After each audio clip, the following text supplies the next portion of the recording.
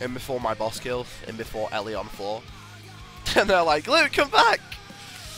Uh, if I go back and there's a sigil on the floor, fuck me. Would be the best thing in the fucking world. Won't be anything though. You got law runes? Fuck. Why did they ruin it? I wanted to go back and just run in like, what's my job? Uh,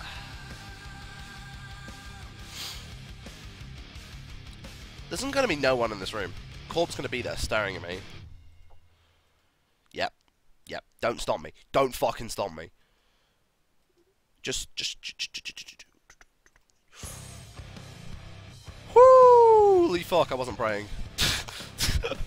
I wasn't fucking praying, Jesus.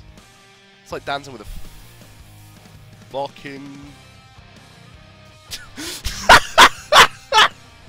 For fuck's sake! Come on, dudes! I was outside the fucking door! For fuck's sake! Alright, it's okay. Like, the law runes pay back for, like, the repair costs.